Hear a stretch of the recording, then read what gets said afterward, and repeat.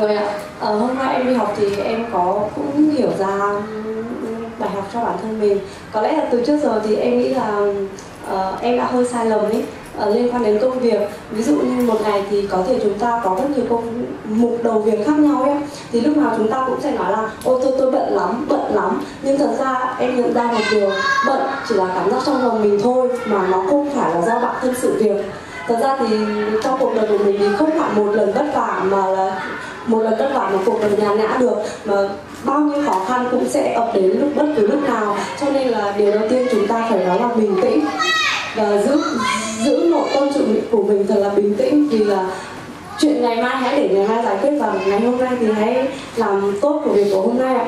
Và liên quan đến nội tâm thì em cũng hay đọc sách của những cuốn tản văn ấy ạ. Thì em cũng có liên tưởng tới uh, một câu nói trong cuốn sách mà em rất là thích đó là nếu muốn gặp gỡ tôi ở tại nơi vui vẻ. Tôi ở tại nơi vui buồn đan vui buồn đan xen. Đều có thể làm chỉ là lặn lội đường xa trở về với bản thân như lúc ban đầu. Thì trong cuốn sách đấy em có nhớ là có nói như lúc ban đầu ở đây chính là trở về với nội tâm ờ, uh, một mạc thuần khiết bạo chân thành và khoan dung em xin lỗi đầu em chia sẻ chỉ là do cảm nhận trong nội tâm của mình thôi ạ. Thì uh, khi mà hồi em học thì hồi em cũng được uh, thầy chỉ dạy cho một một điều đấy là bởi vì có phải là như chúng ta đã học rồi khi mà chúng ta muốn thay đổi lại cái hình ảnh tâm trí thì chúng ta kiểm soát cái cái nói và cái biết đúng không ạ? Thay đổi cái nghe và cái thấy à, kiểm soát cái nghe và cái thấy và thay đổi cái nói và cái biết. Thì trong công việc không có cái rảnh ở đây nó không có nghĩa là là rảnh là mình không làm cái gì.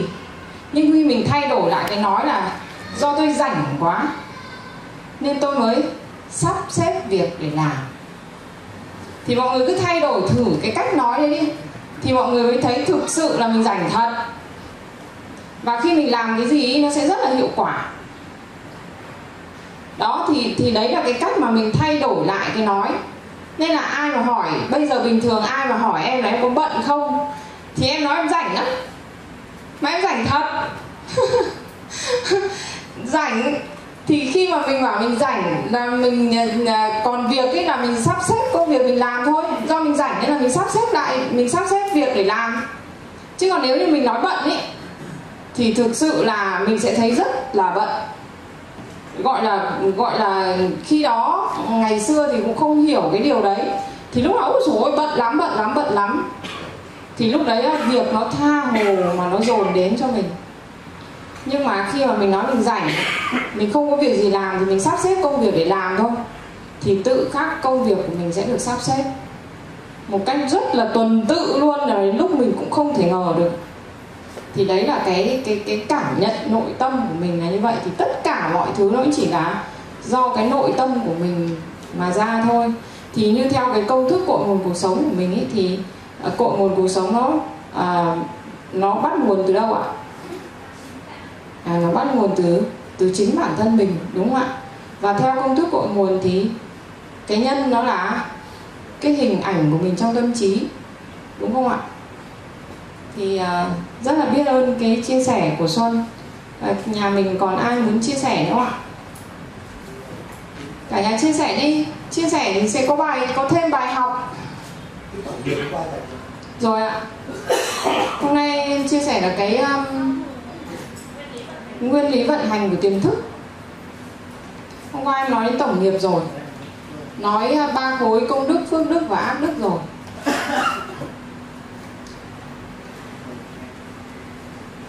Nhà mình có ai muốn chia sẻ không ạ? Hoặc là à, hôm qua học tâm đắc điều gì mà mong muốn ứng dụng trong cuộc sống? Thì chúng ta chia sẻ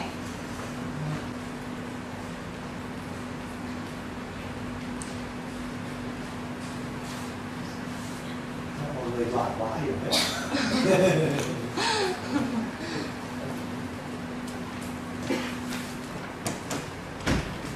có ai chia sẻ không ạ?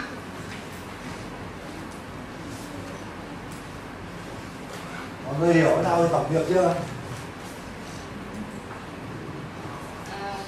em nói thế này được không? Hôm qua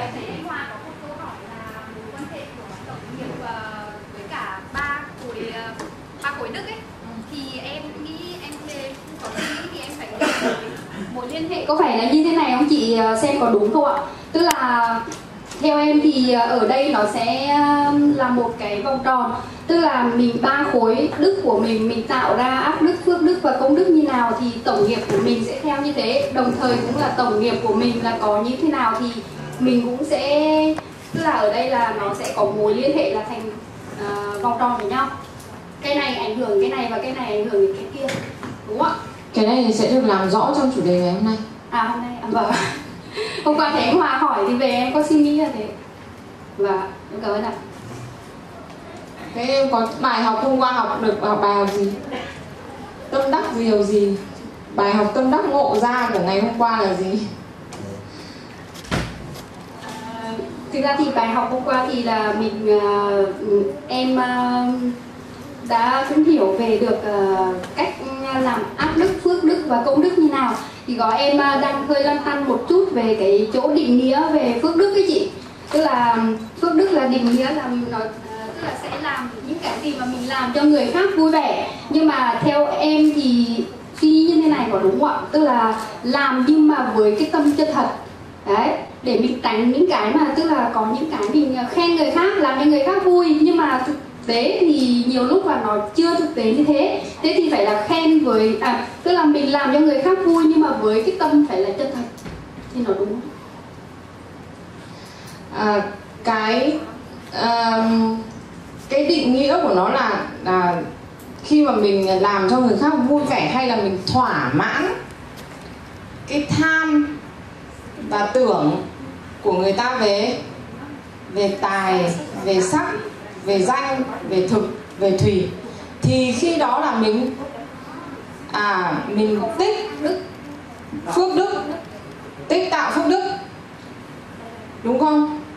Chứ còn cái mà trong cái nội tâm của mình, nghĩa là khi mà mình nói là người ta vui vẻ, nghĩa là bản thân người ta vui vẻ nhá, là mình đã đang đang tích được cái khối điện từ dương này rồi chứ mình chưa nói đến cái rung động của bản thân mình nhá. Không thực tế là chỉ ý của chị là nói thật lòng chị thay vì có ý là còn cái nói chân thật ấy cái mà nói chân thật ấy thì nó lại là đưa từ cái điện từ cân bằng của mình ra theo ngôn ngữ. Tức là cái đấy này giải thích thêm cái này. Tức là khi nói để tạo cho người khác uh, thỏa mãn đấy. Là cái tham tưởng người khác tức là làm cho người khác vui vẻ làm cho người khác thỏa mãn thì như thế là mình tích phước. Còn khi mà cái khởi mình nói cho người ta vui vẻ nhưng nói có chân thật hay không chân thật thì sẽ ảnh hưởng đến cái việc người ta cảm nhận. Nếu như mình mà nói lấy lòng mà mình nói không chân thật mà người ta cảm giác là mình nghịch thì lúc đấy người ta không vui vẻ và không vui vẻ thì bản chất đó là từ không có phước rồi. Cho nên cứ không quá căn nghe là mình nói là có chân thật hay không chân thật. Chân thật hay không chân thật là do cái trong cái ý mình thể hiện ra đấy là thế nào. Còn bản chất là nhiều khi bảo ừ à, khen cô Hà xinh thế nhưng mà cô bảo là không mày định uh, ờ, chị à. Thì nếu như mà cô Hà cảm giác là ninh thật thì cô già không vui vẻ mà không vui vẻ thì lúc đấy con nói nữa, cũng không tạo được phước đức. Nhưng mà cô hàng cảm nhận được là à bạn này là, bạn ấy nói thật. Thì lúc đấy mới là có tích phước đức. Cho nên không quá quan tâm lắm là mình nói thật lòng hay không thật lòng. Thì cái đấy thì là phải rèn là mình muốn khởi, mình nói cái gì. Thì cái tính chân thật của mình nói, thì người ta sẽ cảm nhận được là mình mình nói thật lòng. Thì người ta à tôn trọng cái lời nói của mình. Thì góp ý đấy là góp bị chân thành thì người ta sẽ cảm động. Mà khi cảm động thì lúc đấy là thích phước đức. Thì làm rõ ở cái, cái chỗ đó như thế. Thì thậm chí là mọi người có những lúc ấy mọi người thấy này giả vờ nhưng tính được phước đức. Ví dụ như là đến để gặp người ta mặc dù mình đã có chuyện buồn nhưng mình gặp người ta mình vẫn nở một nụ cười vui vẻ. Người ta thấy à mình cười vui vẻ thì mình đã là tích được phước đức đấy gọi là nhãn thì thì tích được phước đức rồi. Nhưng thực tế thì mình đang buồn. Nhưng mà mình đã phải tạo ra cái vui vẻ bởi vì gặp mọi người thì mọi buồn là do mình nhưng phải do mọi người. Thì gặp mọi người mới đây thì mình được vui vẻ. Thì cái đấy nó là giữa cái nội tâm và cái thực tế biểu hiện ra bên ngoài là khác đúng không? Nhưng vẫn tích được phước đức. Đấy, mọi người lưu ý cái đấy. Cho nên cái nhan thí cái vòng thí tất cả những cái bảy cái bố thí đấy để mà mọi người nhìn thấy đấy thì người tất cả đã thỏa mãn được thì lúc đấy là đều tạo được phước đức đấy, mọi người lưu ý cái này. Cho nên là gặp nhau mà luôn luôn niềm nở, niềm nở luôn luôn là tươi cười thì đấy đã là là tích phước đức. Đúng không? Vâng biết ơn anh đã làm rõ cái ờ, chủ đề đó. À, cái cái nội dung đấy. Thì à, như hôm qua em cũng chia sẻ với mọi người ấy, thực tế ngôn ngữ mình nói ra nó chỉ là phương tiện để mình truyền tải cái năng lượng cái trạng thái rung động điện từ nội tâm của mình ra bên ngoài thôi. Ngôn ngữ nó chỉ là phương tiện thôi. Nên là khi mà nó ở một cái gọi là à, mọi người hình dung ra này này là nếu như khi mà chúng ta kết nối được với cái sự chân thật nơi chính mình ấy, thì khi mình nghe người khác nói mình sẽ cảm nhận được cái tần số rung động của họ. Nó giống như là cái mặt hồ nước, nó phẳng lặng ấy. Dù nó có rộng, nó xa đến mấy đi chăng nữa, nhưng mà khi mà mặt hồ nước nó phẳng, chỉ cần một cái lá nó rơi xuống thôi, chúng ta cũng cảm nhận được à cái độ rung động ở cái mặt nước đó. Thì cái nội tâm của chúng ta cũng vậy khi mà khi mà chúng ta kết nối được cái sự chân thật nơi chính mình ấy, thì nó cũng không khác gì cái mặt hồ nước phẳng lặng đấy đâu. Nên là dùng một cái máy động, có khi còn chưa cần người ta nói. Là chúng ta đã cảm nhận được rồi. Thì có phải là ở đây, trong số các anh chị ở đây, có những cái việc mà có khi mình vừa nói đến một cái là tự nhiên trong nội tâm của mình nó đã bồn chồn rồi. Có không ạ? Thì đó chính là cái cảm giác mà chúng ta cảm nhận được cái nguồn năng lượng từ cái việc đấy. Nên là cái việc mà chúng ta, ngôn ngữ chúng ta truyền ra ấy, nó chỉ là một cái cái cách để chúng ta truyền năng lượng ra thôi nên là khi mà nếu như mà ở trạng thái rung động năng lượng nhá khi mà em học thì nếu với thầy khi mà thầy đưa về cái trạng thái gọi là sự chân thật nơi chính mình là nó có cái nguồn năng lượng của an vui ấy, thì nói thật nghe thầy chửi cũng thấy vui. Cái đấy em phải phải em phải thừa nhận một điều là như vậy. Mặc dù là có những cái có những câu chuyện thầy kể mà nó rất là thấm thía nhưng mà khi mình nghe mình không có một cái cảm nhận rằng là à, nghĩa là chỉ có sau khi mình nghe xong mình suy nghĩ mình mới thấy là thầy đang chửi. Chứ còn cái lúc mà nghe ấy, thì thấy cái năng lượng nó rất là vui. Nhưng mà sau đấy mình suy nghĩ lại mình mới thấy à hóa ra là ông thầy đang đang gọi là muốn dạy mình một cái bài học gì đấy. Thì lúc đấy mình mới mới thấm ra cái cái cái cái câu nói của thầy từ đấy chứ còn bình thường nghe ấy, tại vì là thầy cũng kể một cái câu chuyện. Đấy là à, nghĩa là có một à, một người chị à, nghĩa là cũng người chị như cũng quen thầy thôi. Nghĩa là chị bị à, bị ung thư. Thì sau đó nhờ thầy. Nhờ thầy một thời gian thầy thầy cố vấn xong rồi làm xong thì chị khỏe. Khỏe lại thì à, khỏe trở lại. Thì sau đấy mấy năm không gặp lại thầy thì chị lại quay trở lại như như trước thì đến khi thầy quay lại mới hỏi thầy thì thầy mới nói là tất cả những cái gì em chỉ thì chị không có nghe không có làm theo mà chị lại đi tin những cái à, cái cái kia ấy. thì thầy mới nói là như này thầy mới nói nghĩa là kể với cả lớp thì thầy mới nói là chị ăn ở thất đức những cái gì mà em nghĩa là những cái gì tốt đẹp những cái gì mà có thể làm chuyển hóa cuộc đời là em đã chuyển giao hết rồi, nhưng chị không có tin để làm theo. Thì khi mà thầy nói như vậy thì mình nghe thì rất là bình thường. Bởi vì trạng thái rung động điện từ nội tâm của thầy nó ở dạng cân bằng.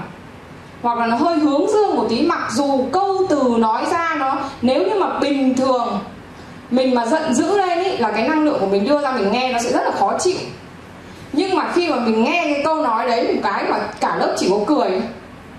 Nghĩa là cười nó dân giống như là một câu chuyện hài vậy. Thế nhưng mà sau đấy thì mình suy nghĩ lại mình thấy là à hóa ra là ông thầy ông cũng đang à, đang đang chỉ cho mình cái bài học đấy. Nhưng mà à, nó với một cái trạng thái rằng là khi mà thầy quản trị được cái cái năng lượng trạng thái rung động điện từ của nội tâm ấy thì cái ngôn ngữ nó truyền ra như thế nào thì cái người nghe người ta sẽ cảm nhận như vậy nên là ngay kể cả khi mà các anh chị nói ra ấy, bảo, ô, quái lạ, sao tôi nói điều tốt như thế này mà sao người ta vẫn cáu? Thì lúc đấy phải xem lại là cái trạng thái rung động điện từ nội tâm của mình nó đang ở ở dương hay ở âm. Thì người ta mới đón nhận như thế. Cả nhà hình dung không ạ? Nếu như các anh chị có nói điều tốt đẹp đến mấy đi chăng nữa, nhưng trạng thái rung động điện từ nội tâm của mình bên trong ấy mà nó ở mức âm là cái người nghe người ta sẽ cảm nhận nó ở âm, mặc dù câu từ nó có thể rất dương. Cả nhà hình dung ở chỗ này không ạ? Nhưng nếu như mà ở trạng thái của mình nó là nó là vui vẻ, đặc biệt là nếu như mà nó ở sự an vui thì anh chị nói gì đi chăng nữa? Người nghe người ta nghe rất là bình thường, không phản ứng một cái gì luôn chính cái đấy thì nó mới là cái như hôm qua em nói là cái trạng thái rung động điện từ của nội tâm nó đưa ra cái cái tần số rung động năng lượng ra bên ngoài nó là như vậy. Nên là khi mà mình, trạng thái của mình như thế nào thì người khác sẽ cảm nhận được như thế. Và khi mà mình đã kết, ai mà đã kết nối được với sự chân thật nơi chính mình, nghe chỉ biết là nghe, thấy chỉ biết là thấy, mình nghe nó không phải là không nghe nhá. Mình vẫn nghe và mình hiểu được rằng là nếu như mình ở cái trạng thái an vui mình sẽ biết là trong cái tình huống đấy mình nên nói gì nên làm gì. Như thế nào? Thì cái người đối diện với mình người ta sẽ cảm nhận y hệt như vậy. Mọi người hình dung lên chỗ này không ạ?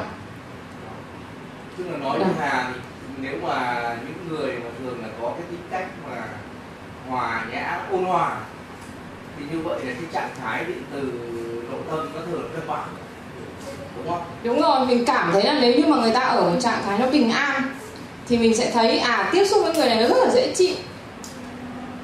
Nó dễ chịu thôi nhưng mà ở cái trạng thái người ta là ở trạng thái cân bằng ấy thì mình không cảm nhận được gì đâu. Nghĩa là lúc đấy nó không cảm nhận. Dương hòa cân bằng. Đúng rồi. Những cái người mà thường là có tính cách ôn hòa ôn hòa thì có thể là nó hơi hướng dương một chút bởi vì nếu như mà trạng thái điện từ ở ở ở, dạng cân bằng nhé trinh hình dung là cân bằng ấy là nó giống như là một cái nếu như mà dùng từ ngôn ngữ của dân gian là nó hơi vô cảm một tí. Nghĩa là nó là dạng trạng thái vô cảm. Đấy là tôi mô tả như thế cho ông dễ hình dung thôi. Nhưng nó không phải như vậy. Đấy là cái sự chân thật. Có nghĩa là lúc đấy nó không có bất kể một cái máy động gì ở trong tâm cả không bị tác động bởi những yếu tố bên ngoài. Đúng rồi. Dù ở bên ngoài nó có như thế nào đi chăng nữa, trong nội tâm của họ hoàn toàn cân bằng. Nhưng mà nếu như mà theo dân gian của mình mà không không không không rõ thì mình cứ hay nói là cái người đấy người ta cứ vô cảm ấy. Nhưng thực tế là trạng thái nội tâm của họ nó rất là cân bằng. Họ không có cái sự dao động của cái lớp cảm xúc và có thể cái lớp tánh người nó cũng không nghĩa là lúc đấy tham và tưởng nó dừng lại. Chẳng qua nó rung động là bởi vì cái tham và tưởng nó dao động thôi. Thật mà, mọi người cứ ngẫm sâu cuối cùng ấy là do cái tham và tưởng nó dao động ở cái mức độ như thế nào. Thì nó làm cho cái trạng thái rung động điện từ nội tâm của mình nó ở cái mức đấy.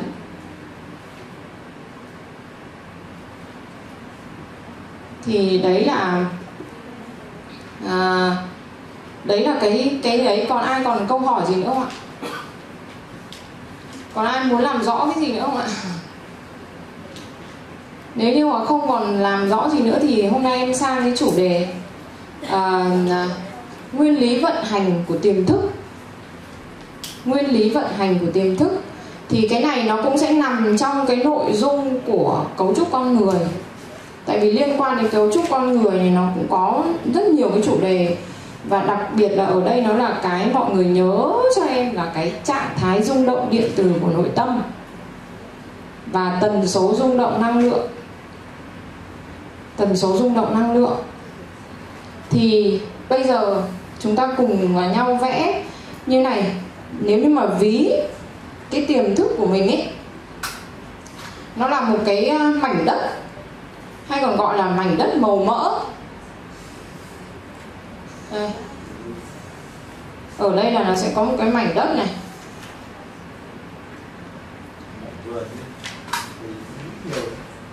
Mảnh mảnh đất hay mảnh vườn?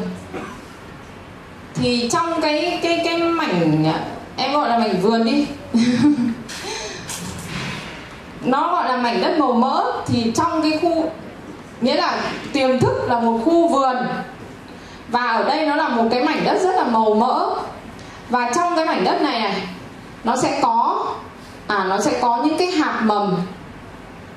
Hoặc là có những cái cây đã có quả. Hoặc là cây chưa có quả. Thì mọi người cùng vẽ với em là ở đây này, nó sẽ có những cái hạt mầm. Hoặc là những cái cây nhá.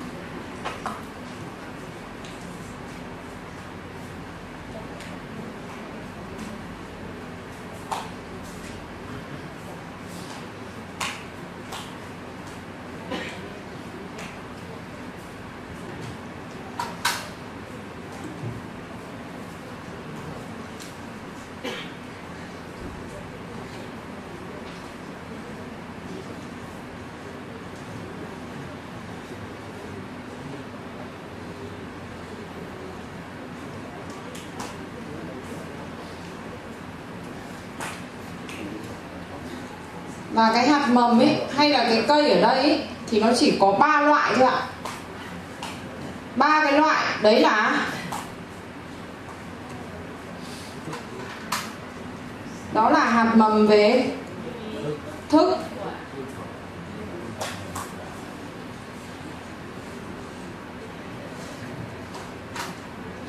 Hạt mầm về duyên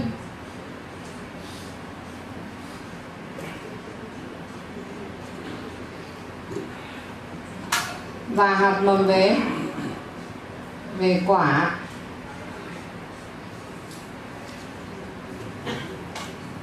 Thức duyên quả.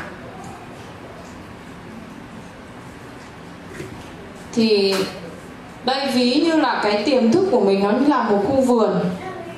Và cái khu vườn này ý, nó sẽ có những cái hạt mầm.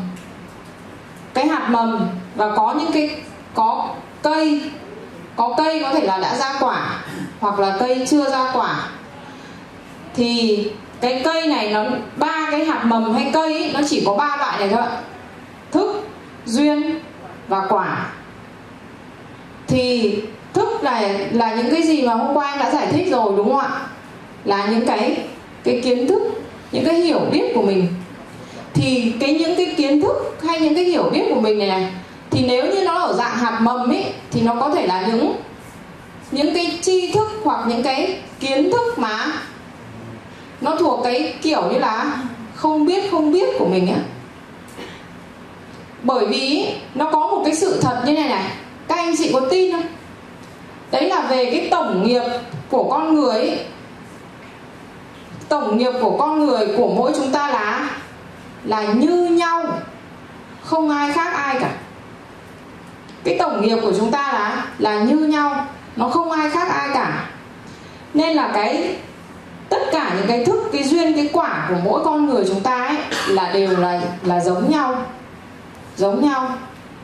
Thì cái mà để cái thức là những cái những cái hiểu biết, những cái tri thức của mình, thì có thể là nó là hạt mầm, thì có thể là những cái kiến thức mà mà chúng ta chưa biết hoặc là không biết, thì còn những cái mà chúng ta, nó thành cây có quả thì sao ạ?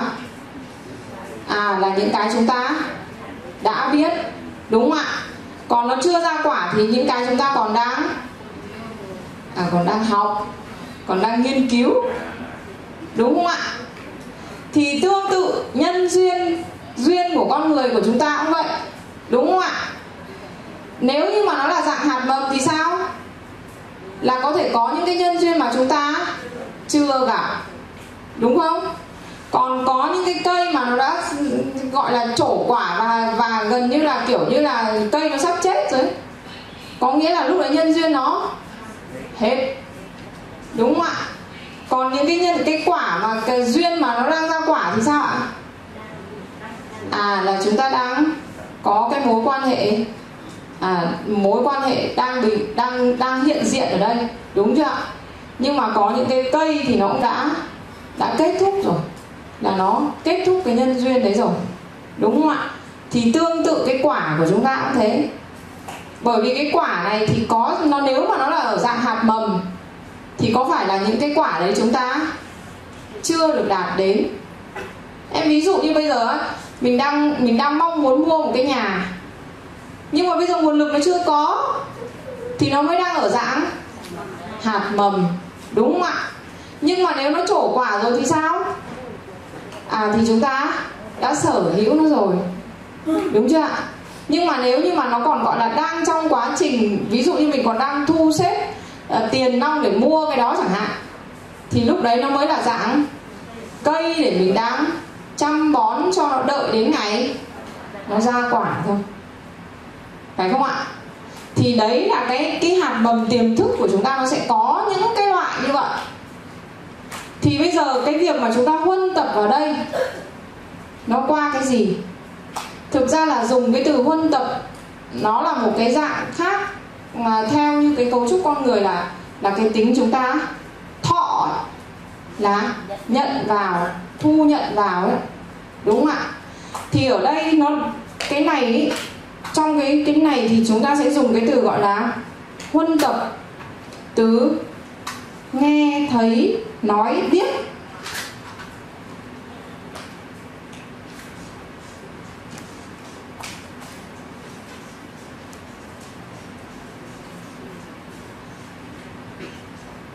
Huân tập từ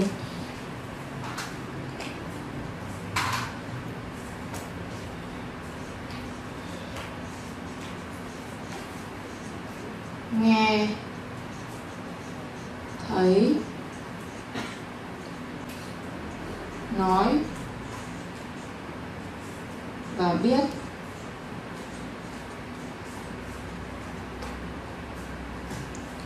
Nghe, thấy, nói, biết. Thông qua cái gì ạ?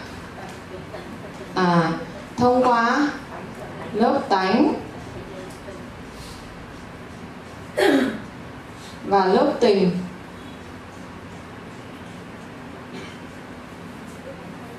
Thông qua lớp tánh và lớp tình.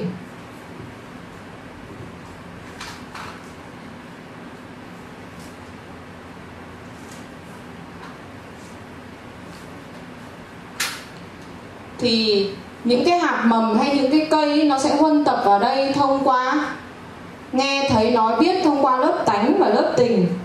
Với trạng thái rung động điện từ của nội tâm ở trạng thái là hướng âm hay hướng dương hay cân bằng thì nó sẽ huân tập vào đây. Em nhắc lại nhé cái hạt mầm hay là cái cây ý, nó được huân tập vào đây này. Nó nó được đưa vào trong tiềm thức của chúng ta ấy là do chúng ta huân tập từ nghe thấy nói biết thông qua lớp tánh và lớp tình.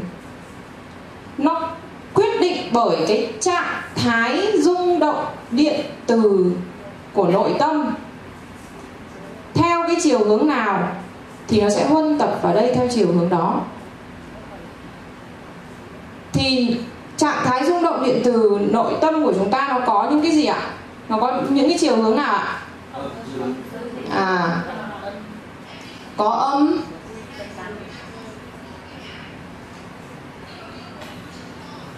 dương. Và cân bằng.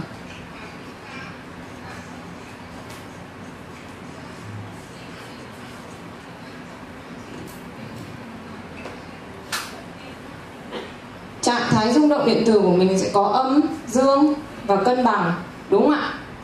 Thì bây giờ em giả sử như là ví dụ như là mình uh, mình uh, nhắc đến à mình nhắc đến cái công việc của mình đi. Thì nếu như mà mình uh, ví dụ như xuân vừa nói là công việc của em bận lắm thì lúc đấy là trạng thái của mình đang ở trạng thái gì ạ?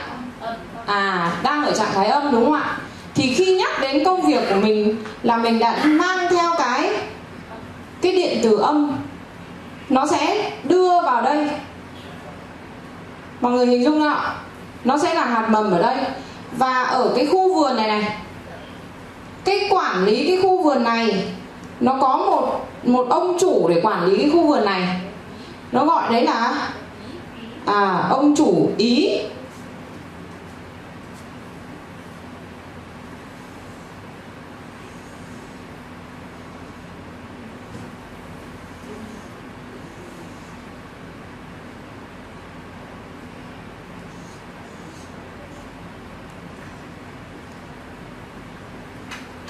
Quản lý cái khu vườn này đấy là là ông chủ ý. Có nghĩa là khi chúng ta đặt ý vào vào cái gì với trạng thái rung động điện từ nội tâm như thế nào thì nó cho ra chúng ta kết quả là như vậy. Em giả sử như là mình đặt ý vào con đi. Đúng không ạ? Đặt ý vào con. Ví dụ như là vào cái sự học tập của con. Nếu như mà ý của mình là là dương. Thì nó sẽ cho ra kết quả gì ạ? À như ý. Đúng không ạ? Nếu mà hướng dương ấy, thì nó sẽ cho chúng ta kết quả là là như ý.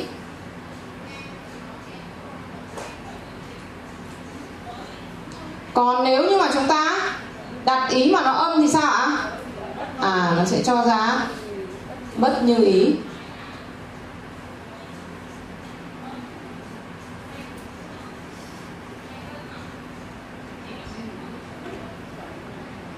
còn nếu như mà nó ở cái trạng thái cân bằng này thì là nó sẽ không như ý, không bất như ý.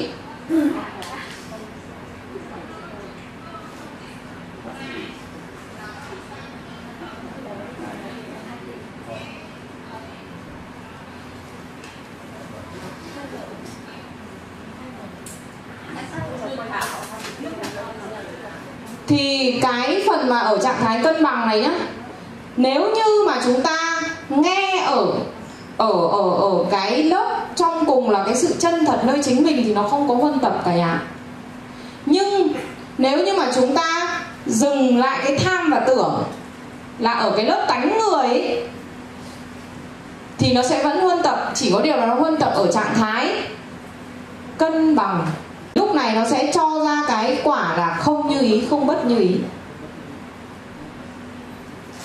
Thì cả nhà hình dung ra chỗ này chưa ạ? Để em nhắc lại nhé cái ông chủ của cái khu vườn này là có tên là là ông ý. Ý của mình là, ví dụ như là mình, ý là mình hướng đến là ý là con, là chồng, là vợ, là công việc là tất cả những cái mối quan hệ, hay là sức khỏe, hay là tài chính, hay là nội tâm của chính bản thân mình, nó chỉ là ý thôi. Cả nhà hình dung không ạ. Thì cái ý này đặt vào cái gì? Đặt vào cái gì? Ví dụ như mình, ý mình đặt vào sức khỏe với trạng thái rung động điện từ nội tâm, nó dương thì nó sẽ cho chúng ta kết quả gì? À như ý. Còn nó âm, thì nó sẽ cho ra bất như ý, đúng không ạ? Còn nếu như nó không âm, không dương, hay là nó còn gọi là trạng thái cân bằng, thì nó cho ra cái gì ạ? Không như ý, không bất như ý. Thì bây giờ cả nhà để ý này này, nó gọi là ý bây giờ em nhắc mọi người là sức khỏe của anh chị như nào? Tốt tốt nào là tốt.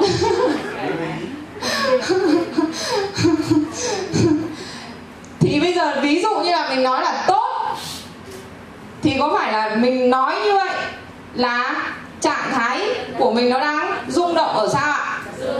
À ở dương, đúng không ạ? Thì nó sẽ cho chúng ta ra kết quả gì? À như ý. Thì khi này này, cái ông quản, cái ông chủ vườn này này ông thăm cái khu vườn này. Ông ấy hỏi đến đâu? Với với cái trạng thái rung động điện từ bản chất ý, là cái từng cái hạt này nó đi vào đây nó đã mang cái khối điện từ của nó rồi. Có phải là khi chúng ta huân tập đúng không ạ? Từ nghe thấy nói biết với trạng thái rung động điện từ của nội tâm như thế nào thì nó mới đi vào cái khu vườn tiềm thức này. Cả nhà hình dung không? Thì khi mà nó đã đi vào cái khu vườn tiềm thức này rồi thì khi chúng ta hướng cái ý này đến cái hạt mầm đấy hoặc là đến cái cây đấy thì đó là lúc chúng ta à chúng ta chăm bón cho cái nó gọi là à, cái gì nhỉ? À, chăm cái gì bón bón đấy nhỉ? À, đấy tưới nước bón phân. Tưới nước bón phân cho cái hạt mầm hay cái cây đấy để nó trổ quả. Đúng không ạ? Thì bây giờ mọi người hình dung ra này trong cuộc sống của mình ấy có phải là mình mong muốn điều gì thì mình rất là chăn trở về cái điều đấy đúng không? Thì đó là một cái cách mà chúng ta tưới nước bón phân cho cái hạt mầm hay cái cây đấy nó trổ thành cái quả. Thì kể cả theo chiều hướng âm hay chiều hướng dương nó đều là như thế nhé cả nhà nhé thì ví dụ như là bây giờ ấy, nhiều người đang có hiện thực uh, ví dụ như về tài chính thì nó đang rất là khó khăn thì người ta sẽ luôn nhiều khi là người ta cứ loay hoay xử lý cái việc là bây giờ làm sao cho mình hết khó khăn. Đúng rồi nhưng mà sao hết nợ thì có bao giờ nó hết nợ đúng không ạ? Ngay cái từ là sao hết nợ thì nó sẽ không bao giờ nó sẽ không thể hết nợ được bởi vì cái, cái đấy nó đang theo theo chiều hướng âm đó, thế thì khi mà khi mà mình chỉ cần ý của mình đặt với cái trạng thái rung động điện từ của nội tâm nó đã nằm ở trong này như thế rồi, thì chỉ có điều là cái ông ý này này, ông ấy cứ nhắc đến nhắc đến nhắc đến nhắc đến, thì nó theo bởi vì là bản chất cái hạt mầm nó huân tập vào đây, nó đã mang theo à mang theo khối điện từ đi vào đây rồi. Cả nhà hình dung không ạ? Nó đã mang theo cái khối điện từ đi vào đây rồi. Thì cái ông ý này ông hỏi thăm nó ấy, nó chỉ là làm lớn cái khối điện từ đấy lên thôi. Hoặc là nếu như nó có quả rồi thì nó gặt quả. Đơn giản vậy thôi. Cả nhà hiểu ý cái chỗ vận hành của tiềm thức này chưa? Thì bản chất là những cái hạt mầm ở trong này hay là những cái cây này nó đã mang khối điện từ rồi. Đó. Thế thì bây giờ à bởi vì là mình hiểu rằng bản chất là tất cả những cái hạt mầm này nó đã có khối điện từ sẵn rồi bởi vì chúng ta huân tập từ nghe thấy nói biết. Mà từ trước đến nay nếu như chúng ta chưa được các cao nhân chỉ điểm ấy, thì bản thân mình cũng không biết là mình mình mình huân tập theo kiểu gì mà nó vẫn theo cái bản năng là à tôi nghe cái này tôi thấy vui tôi nghe cái kia tôi không thấy thích. Đúng không ạ? Thì khi mà mình nghe cái này mình thấy vui thì nó đi vào đây là là theo chiều hướng dương còn nếu như mình không cảm thấy kiểu như mình rất là bực bội, khó chịu thì nó đi vào đây theo chiều hướng. À theo chiều hướng âm. Đúng không ạ? Thì bây giờ nó chỉ là cái ông ý này là ông ấy nhắc lại nhắc lại nhắc lại. Thì cái đó nó sẽ được gọi là tưới nước bón phân cho cái cây này nó lên thôi, giống như chúng ta trồng cái cây ấy. bản thân là đưa xuống rồi.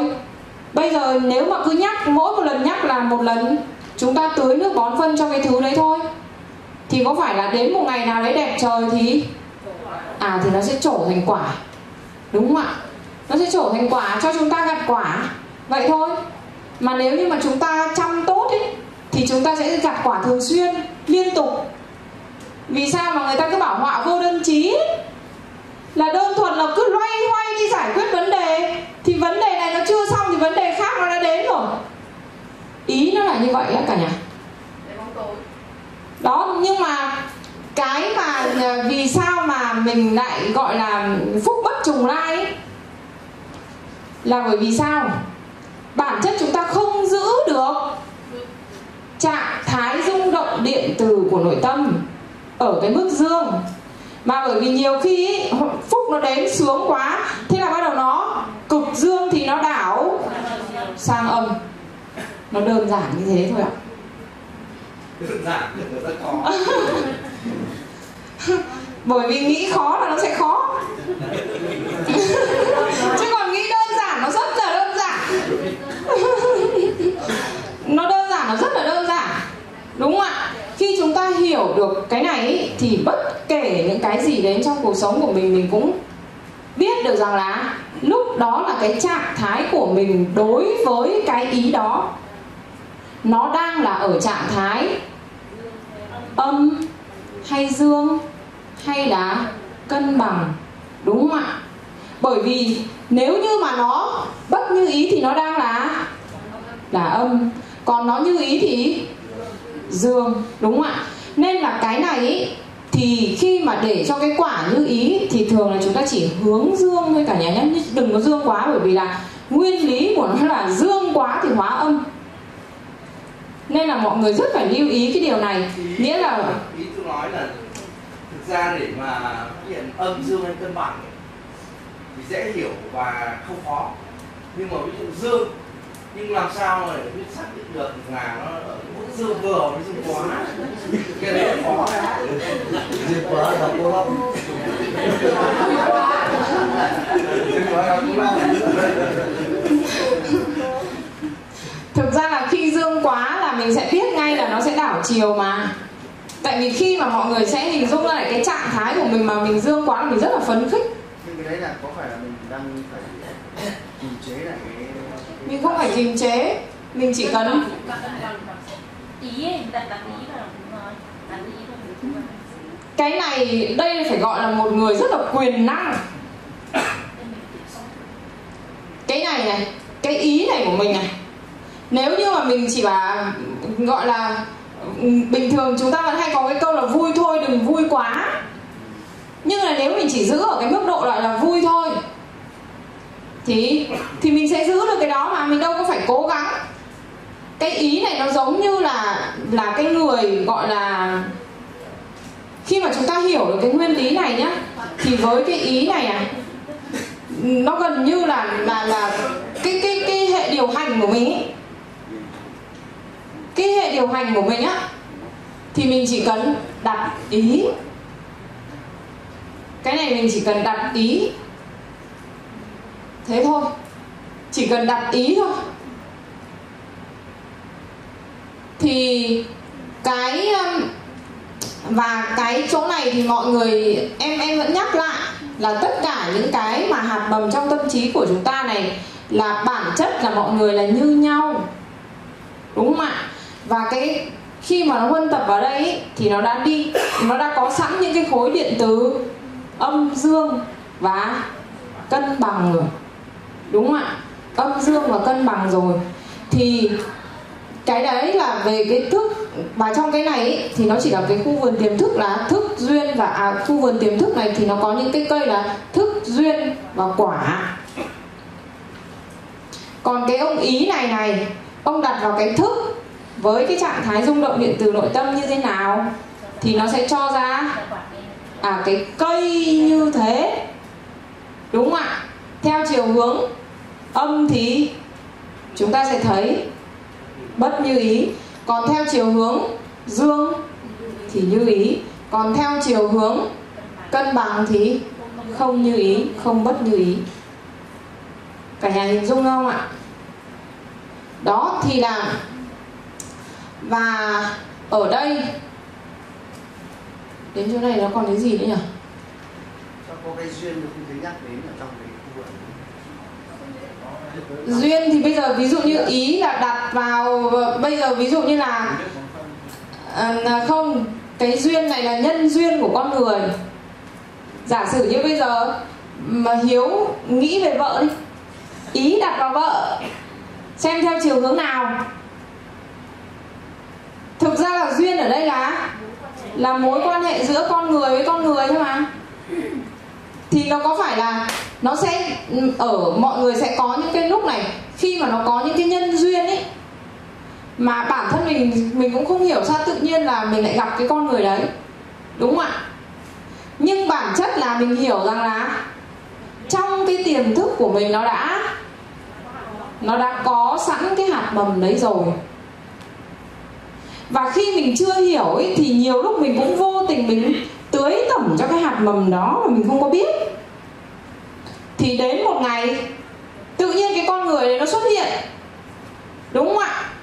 Thì hay kể cả nhá cái này nó là một sự thật để cả nhà có phải là tự nhiên mà mọi người biết đến cái tri thức này không?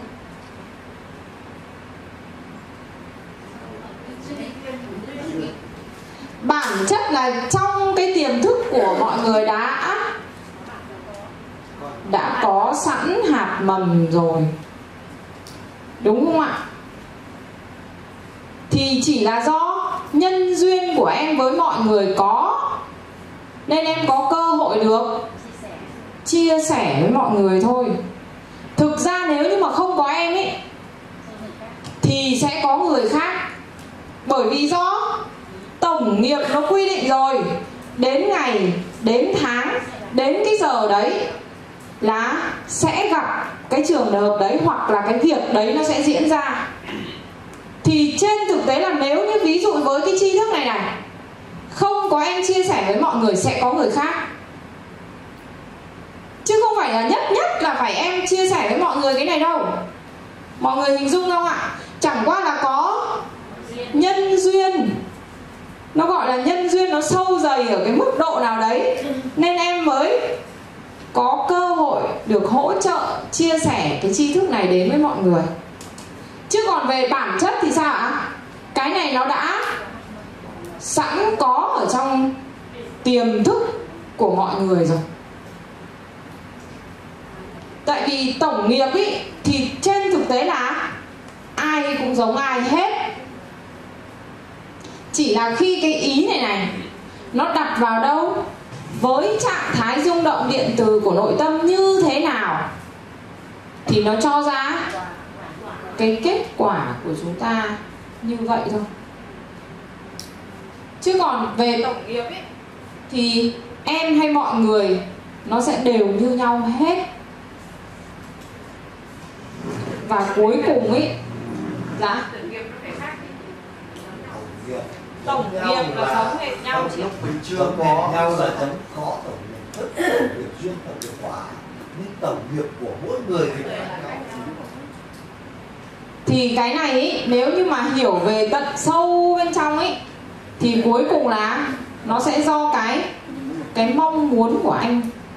Anh muốn kích hoạt cái gì thì nó mới mới ra cái đó. Cái đấy là đến lúc sau. Chứ còn về cái cái cái bản chất ý, thì tổng nghiệp của ai cũng giống ai. Mọi thứ là do mình lựa chọn. Không cái tổng nghiệp tổng nghiệp khác nhau tổng nghiệp từ cái lúc mà mình chưa có tư duy thì là giống nhau. Nhưng khi đã có tư duy rồi thì là khác nhau. Không cái cái vận hành thì nó khác nhau tổng nghiệp nó vận hành thì khác nhau. Tức là này tổng nghiệp của mỗi người giống nhau là đều có ba cái tổng nghiệp là tổng nghiệp thức tổng nghiệp duyên và tổng nghiệp quả là giống nhau. Nhưng tổng nghiệp thức của mỗi người là khác nhau tổng nghiệp duyên của mỗi người khác nhau. Cái này anh có thể chia sẻ thêm theo theo theo ý kiến anh nhé anh nghĩ này cái này là uh, mọi người biết là cái tổng nghiệp của mọi người ấy, thì là trong cái vườn uh, tiềm thức ấy trong cái vườn tiềm thức này thì cái cái tổng nghiệp tức là cái khu vườn này có ba loại giống loại thứ nhất là thức loại thứ hai là duyên loại thứ ba là quả. Mà cái tổng nghiệp thức tổng nghiệp duyên tổng của nghiệp quả ấy, của mọi người là được huân tập bởi hàng hà hà số đời. Tức là hàng trăm hàng nghìn kiếp của mình trước đến bây giờ chứ không phải là mỗi đời này đời này thì là mình đang muốn tập thôi thì cái tổng nghiệp thức và mỗi người đều có tổng nghiệp thức tổng nghiệp duyên tổng nghiệp quả huân tập từ hàng hà sắc số đời thì mỗi một người huân tập một cách khác nhau tức là giống nhau là mỗi người về mặt tổng nghiệp là đều có ba là tổng nghiệp thức tổng nghiệp duyên tổng nghiệp quả là ai cũng ai như ai nó chỉ có ba loại tổng nghiệp đấy giống nhưng cái tổng nghiệp thức là trong quá trình kiến thức hiểu biết của mình. Đấy tổng kiến thức là hàng hà sắc đời của mình là tổng kiến thức của mình. Tổng kiến thức của mình thì mỗi một đời người huân tập về một cái trạng thái khác nhau dẫn đến cái tổng nghiệp đến bây giờ là khác nhau của một người. Tổng nghiệp thức tức là có cái biết cái không biết cái đấy. Tổng nghiệp duyên là có những cái cơ duyên có những nhân duyên có những điểm từ âm điểm từ dương tích tích, uh, tích tạo qua các đời. Tổng nghiệp quả thế thì mỗi một người thì sướng cái khổ, giàu hay nghèo vào cái, hiện tại khi mà chưa có kiến thức thì do tổng nghiệp quyết định. Cho nên bảo là tại sao này sướng thế, tại sao này khổ thế, tại sao này vất vả thế? Thì do tổng nghiệp có mới quyết định. Thì cái tổng nghiệp đấy quyết định thì trong đấy là tại sao đến đời này ông vất vả?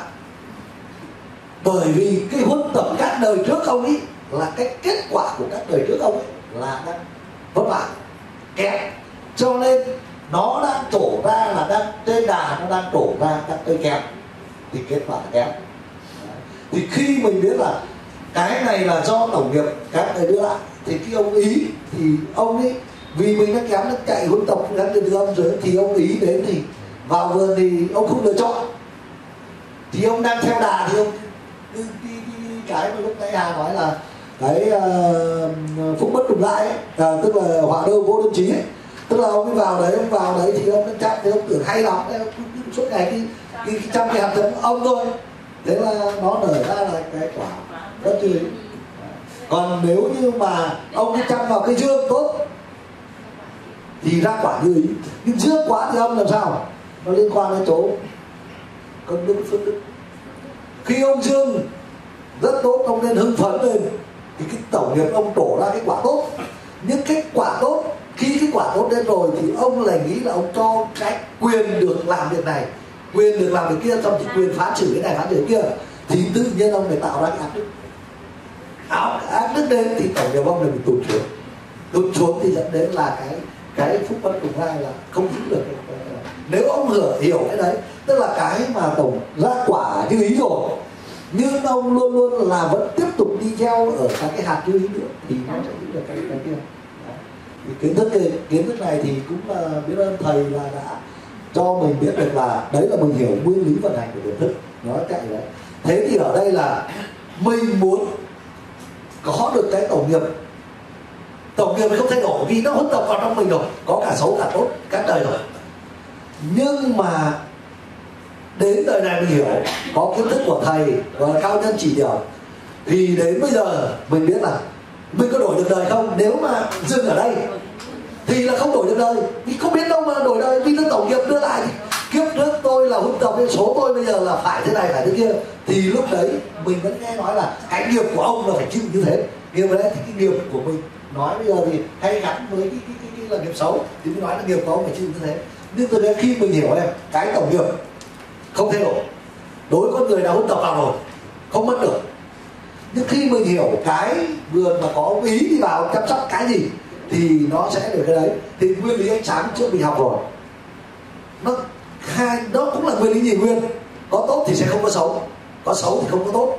Thế thì ở đây là khi ông ý ông sẽ vào đặt vào những cái thức, tức là vào những cái thức với năng lượng ờ, với những cái hạt hạt dương hoặc là đặt với công dương đặt dương hoặc quả dương thì nó sẽ nở ra cái nghiệp quả đấy là dương hay là âm thì cái đấy. Khi mình biết như thế thì rõ ràng là trong cái này này, mình biết thì bây giờ thứ nhất, mình vẫn đi huân tập nghe thấy nói biết những cái điều xấu lại thì cái tổng nghiệp tới của mình, nó sẽ sẽ tích cái tốt hơn. Đấy là một. Cái thứ hai nữa là cái tổng nghiệp từ mấy kiếp trước của mình, hàng nghìn kiếp trước của mình đã vào đến đây rồi. Thế thì bây giờ là mình đặt ý đưa ông ý đến là ông cố gắng này. Trong những cái hạt những cây có trạng thái uh, năng lượng dương thì khi mà cái dương lên thì cái ông nó tự lu mờ đi nó bị ném xuống. Tức là tổng nghiệp mình không thay đổi được nhưng mình không cho nó nở ra tiếp theo của cái kiếp này của mình. Cuộc đời này mình khi mình hiểu rồi mình không cho nó nở nữa. Đấy thì đấy làm sao không cho nở? Thì đấy mình chọn những cái là uh, cái hạt năng lượng mình từ dương. Nhưng trong trường hợp có những cái cây mà ông ý cũng lỡ chạm vào rồi và với cái cái cái cái, cái, cái uh, điện tử âm thì mình phải hiểu cách là đưa về trạng thái cân bằng. Khi trạng thái cân bằng là không được quả. Mặc dù mình có ông rồi nhưng mà đưa về trạng thái cân bằng tức là không thể gặp duyên được thì nó không nở quả. Tức là không nở quả là nó giữ lại đấy nha. Và lúc đấy mới chuyển được sang sang dương chứ tự ông một phát sẽ chuyển dương lên dương thì không chuyển được. Nó phải đưa về được trạng thái cân bằng nén không nở quả. Thì đưa đưa về trạng thái cân bằng không. Thế thì sau khi đưa về được trạng thái cân bằng thì bắt đầu mới mới uh, uh, chuyển nó từ cái hạt coi không nở đấy mà chuyển những hạt dương ra nở thì đấy, cuộc đời nó nó thay đổi. Thì khi đấy là mình hiểu được như thế, mình hiểu được cái cái cái vận hành của cái lý tiềm thức như thế để mình hiểu đấy.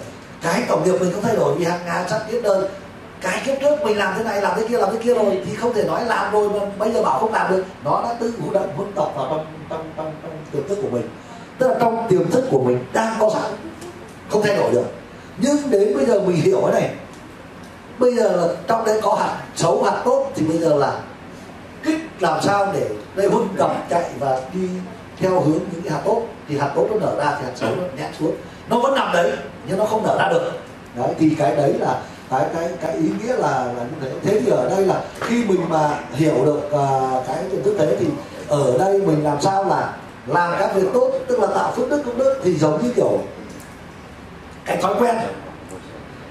Thì mọi người đấy hôm nay cứ nghe việc tốt mai nghe việc tốt thì cái ông ông ông ông ý đấy ông đang đi theo cái đà tốt ông cái quen vào đấy đấy là ông đến cái chỗ tốt lúc đấy giống như mình nhập kho hôm nay nhập cái mai nhập cái ngày kia nhập cái thì, thì lúc lấy ra thì lấy ra được thì nó quen à cho nên tôi lấy cái tốt cái xấu bỏ lại. Thì đấy đấy là nó như thế báo công Dạ. Tiếp lên xong thì qua cái xin nói. Ờ, tôi có câu hỏi muốn làm rõ ờ, theo như Hà nói alo lúc nãy thì cô Hà đấy theo như ờ, cô Hà chia sẻ thì ờ, tôi đang hiểu là tức là cái trạng thái cân bằng ấy nó là cái trạng tức là cái cảnh giới nó cao hơn hẳn so với âm và dương. Đúng không nào bởi vì cái trạng thái đấy là nó không có như ý cũng không có bất như ý. Tức là gọi là kiểm soát tốt được cái nội tâm của mình. Không bị tác động bởi những yếu tố bên ngoài. Thế nhưng anh phong thì, thì đây là cây của bà. Vừa vừa vừa gợi ý là tức là nếu trong trường hợp ta âm đang tích tụ cái ờ, điện tử âm nhiều thì ta lại đưa về cân bằng Tức, nhưng mà tức là gì? Nếu mà như vậy thì nếu theo ý của anh Phong ấy thì có nghĩa là đạt được cái cân bằng này nó còn dễ hơn là để hướng dương. Thì cân bằng ở đây nó có nghĩa là như này này. Giống như là trinh đang trồng một cái cây ấy. bây giờ là ngừng tưới nước bón phân. Để nó không phát triển thêm nữa. Đây là có thể là nói giải thích như thế này thì hơi khó nhưng mà khi mà đưa ra với cái cái cái trường hợp chúng ta chăm một cái cây ấy, là đưa cái trạng thái cân bằng này là chúng ta ngưng ngưng lại cái việc tưới nước bón phân để cho cây nó không phát triển nữa. Nó không còn cơ hội để phát triển nữa. Sau đó là hướng dương thì lúc đó là chúng ta mới mới làm làm rõ cái điều mà chúng ta mong muốn nó tốt đẹp như thế nào. Giống như cái việc là khi mà chúng ta gặp một cái vấn nạn nào đó thay bằng cái việc mà chúng ta loay hoay với nó thì người ta mọi người hay dùng cái từ gọi là buông nó ra. Buông nó ra là chúng ta không để ý đến nó nữa. Thôi dừng dừng thôi dừng uh, buông dừng thôi dứt nó có cái cái cái nó gọi là nhất tự thiền. Nó có bốn cái chữ nhất tự thiền có nghĩa là sao ạ? Nó nghĩa là thiền một trong bốn cái chữ đó là buông. Cái mức này nói phải yếu hay là hết pin sao này dừng không nghe rõ nhé. Hả? Không nói nó hút thôi thôi. Nói được đâu không lúc nãy thì được nhưng mà bây giờ nói nó phải yếu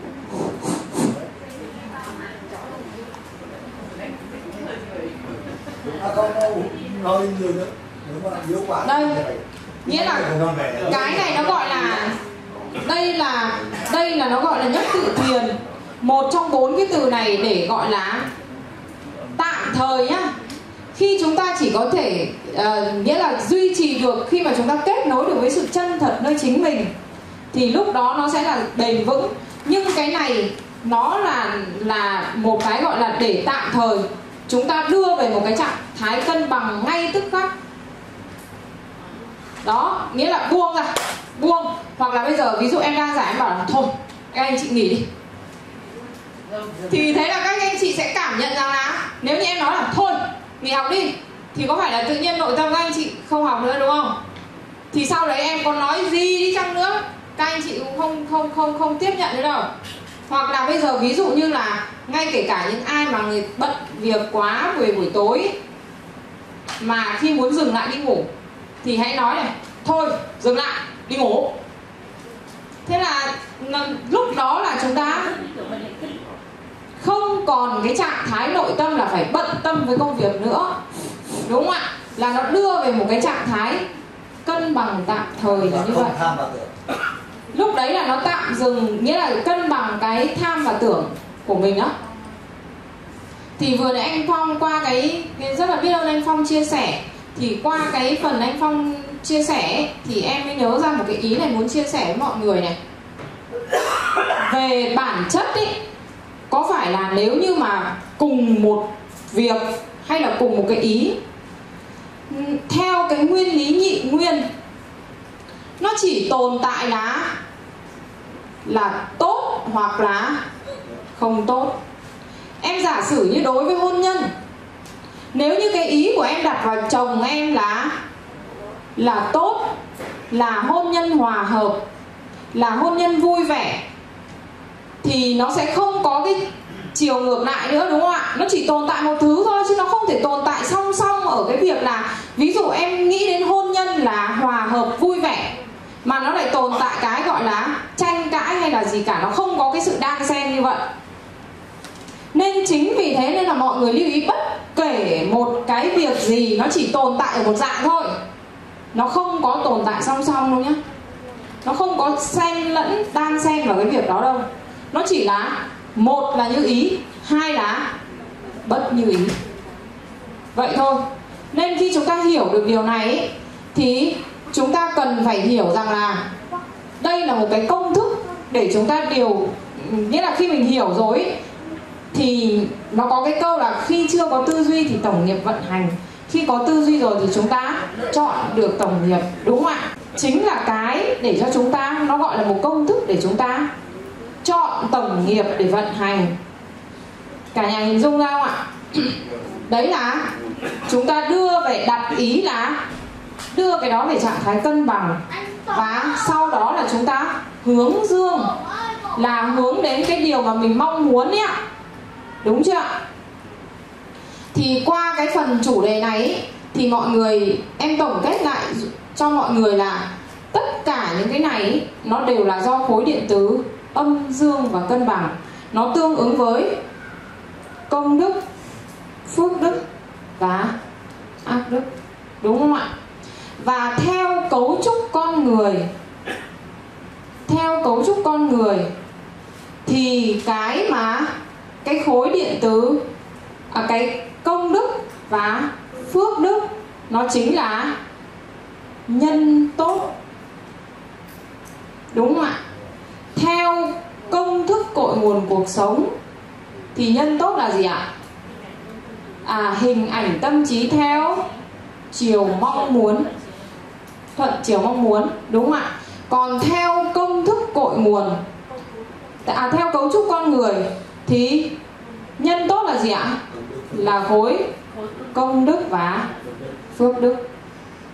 Thì đấy là cái nhân trong con người của chúng ta theo hệ quy chiếu khoa học và đây là tôn giáo tín ngưỡng.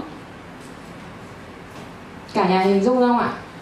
Bởi vì chúng ta học cái lộ trình nâng tầm nhận thức nội tâm này thì đầu tiên chúng ta hiểu các nguyên lý, các quy luật. Đến bây giờ là chúng ta đang tìm hiểu về cái nhân trong con người của chúng ta theo khoa học là gì, theo đạo lý là gì và theo tôn giáo tín ngưỡng là gì. Thì hai cái nhân tốt em đã chia sẻ với mọi người theo hệ quy chiếu khoa học. Thì nhân tốt của con người của chúng ta là là hình ảnh trong tâm trí, thuận chiều mong muốn, đúng không ạ? Còn theo cấu trúc con người thì nhân tốt trong con người của chúng ta là gì? Khối công đức và và phước đức. Đó. Thì đấy là cái, còn đây là cái cái cái công thức này là em chia sẻ với mọi người đây. Chuyển. Cân bằng là rừng tưới nước bón phân. Đơn giản là chưa biết chúng ta chưa tự kết nối hoặc là chúng ta chưa đủ công đức để không à, kết nối với sự chân thật nơi chính mình ý, để cho quả nó không trổ thì nó cần phải phải có công đức. Thì khi mà mình chưa nghĩa là có thể là công đức của mình nó chưa đủ lớn thì chúng ta hãy dùng nhất tự thiền. Đây gọi là nhất tự thiền là một trong bốn cái từ này chúng ta dùng. Khi nào mà mọi người thử đi trải nghiệm mà ai ai có ai đánh thuế cái đấy đâu, khi nào mình băn khoăn cái gì quá mình bảo, dừng! Hoặc là buông ra. Thì đây là một cái cách để để chúng ta trở về cái trạng thái cân bằng tạm thời cả nhà nhé. Nghĩa là khi công đức của mình chưa đủ để kết nối, tự kết nối được với sự chân thật nơi chính mình, thì chúng ta có thể dùng cái nhất tự thiền này nhất tự thiền là một trong bốn cái từ này. Phương pháp đây là gọi là giải quyết tình huống đấy. Giải quyết tình huống. Thì đấy là chia sẻ của em trong chủ đề ngày hôm nay. Thì hôm nay cả nhà có à, câu hỏi hay là có chia sẻ gì không ạ?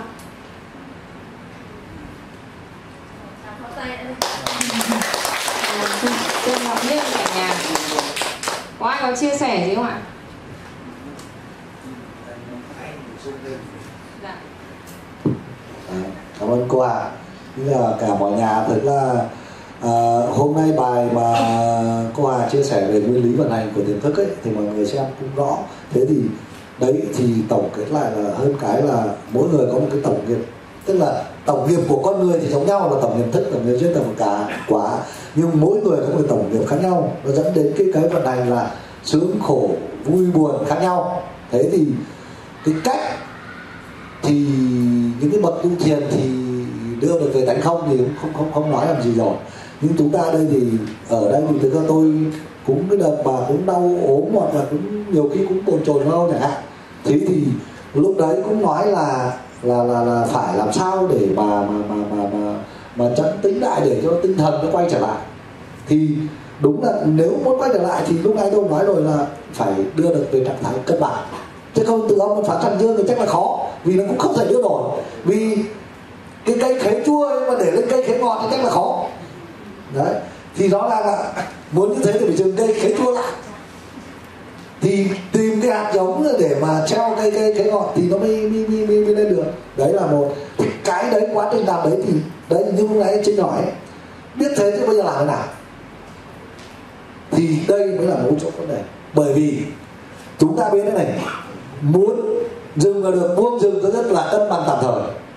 Nhưng rõ ràng là muốn có cái năng lượng dương thì theo như cái khái niệm ở đây thì cần là gì? Công đức và à, công đức thì uh, khó là những phước đức. Thì ở đây là chúng ta là tích tả phước đức. Muốn thay đổi được thì chúng ta dừng được. Cái điều chúng ta huân tập những cái điều tốt đẹp vào thì chúng ta phải tăng cường tạo phước đức thì cái phước đức người ta không qua tôi giải kỹ rồi đúng không? Làm về con người thỏa mãn về tháp tưởng về, về, về, về tài sắc danh thực thủy ừ, nhưng mà cái bích có vấn đề thật đấy. Không nghe nó khác. Nhưng cái nói nó bị đó nhưng nghe này là không ổn. Đúng không? Âm thanh này không ổn rồi. Ờ, cái cũng thế à đây đỡ. Đấy, đấy lúc thì được lúc không nhưng mà nói xong nó một chốc thì tự nhiên nó bị bị bị bị xuống. Đấy rồi nó có vấn đề thật. Thế này là phải xem lại bên âm âm thanh một tí. Không sao đâu các bạn chỉnh ở dưới. Không. Không rồi hiểu. Ví dụ loan vừa lên thì lên cao quá không nói. Nhưng vấn đề là đang nói nó tự động hạ xuống ấy, chứ không phải là nếu mất chỉnh hạ xuống thì không nói làm gì. Đang nói bình thường không điều chỉnh gì cả đúng không? Mà nó tự tụt xuống ấy. Là tự như thế là âm thanh nó có vấn đề đúng không? đúng là nói một lúc là nó một lúc nó bị hụt hụt hụt, hụt mất hết hơi luôn. Nói không không không lên nổi tức là khi đấy mình cái mic điện từ âm quá thế là anh phải tạo sức nhiều để bù lại cái âm đấy cho mình. Đấy thì là bây giờ chúng ta cái quan trọng nhất ấy là là là là hàng ngày chúng ta tích phước đức bằng cách là gì? Ở ngay trong đồng nghiệp. Tức là mối quan hệ xã hội chúng ta là tạo cái phước đức là rất nhiều. Thế thì bằng cách là hàng ngày đấy, niềm nở chào đón với nhau đấy dùng cái bảy cái uh, bố thí. đấy thì đừng có nghĩ là cầm tiền đi cho mới tạo được phước đức. Mà phải nghĩ này phước đức ở đây để tạo được phước đức thì có bảy cái sự bố thí đấy thì tạo được cái phước đức tốt. Cái đấy thì chắc không sáu cô à về à, chuyển luôn cái đấy để mọi người hiểu đấy hàng ngày ừ đấy giao lưu với nhau và niềm nở với nhau ngôn thí với nhau thì mình hiểu là làm cho nhau thỏa mãn về cái à, tham và tưởng của mọi người thì mình tạo được phước đức thì lúc đấy tạo được càng nhiều phước đức. Thì cơ hội mình bắt ông ý ông đi đổ những cái cây đi tăm chăm bón những cái cây là có điện tử dương thì là thuận lợi. Đấy thì đấy là cái cái cái cái và khi mình học ra cái này thì mình hiểu thì mình vận hành ngược lại. Cho nên học xong nói hiểu ra ta vừa ra khỏi cửa chửi nhau cãi nhau luôn thì lúc đấy là lại đi quay ra tạo ác lực rồi. Thì không muốn nó tốt nó không thể tốt nổi. Thì mình mới hiểu cái ý là như thế. Đấy ờ, đấy thì là theo quan điểm tôi tôi nhận biết tôi học về thì tôi nhận thấy như thế. Và tôi chia sẻ lại mọi người như cả nhà mình còn ai muốn chia sẻ không ạ? Bài học tâm đắc ngộ ra. Hoặc là có gì thắc mắc không ạ? Hoặc có gì nghi vấn? Bởi vì khi mà chúng ta hiểu được cái sự vận hành của tiềm thức này thì chúng ta có đơn giản gọi là làm chủ cuộc đời mình không ạ? Đúng không ạ? Rất là đơn giản. Thì cái này nó bản chất là nó nằm sẵn ở trong trong con người của chúng ta rồi bây giờ chỉ là à, hướng dẫn để mọi người hiểu mình thôi. Chứ không có cái gì là là cao xa đâu ạ.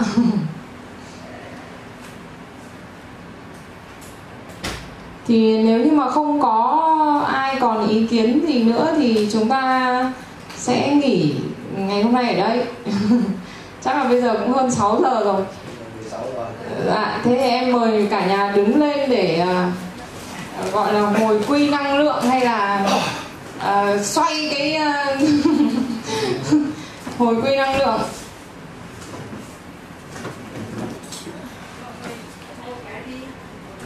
Xoay thì ờ, xoay này à? ờ, xoay.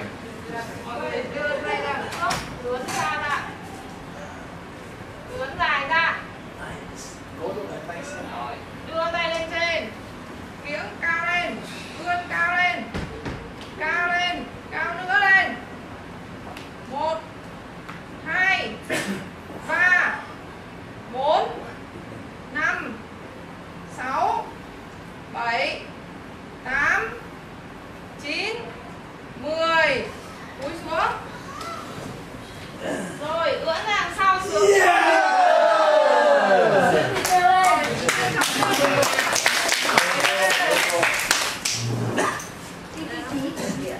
không, nhưng mà ờ, như là bên này vào âm thanh kiểm tra lại anh chủ cứ nói nói một hồi là tự nhiên nó hụt nó kéo hụt hơi xuống.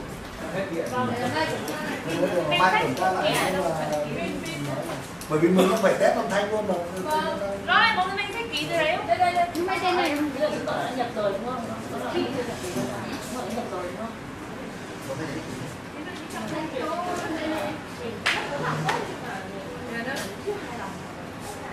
卖这个 tôi.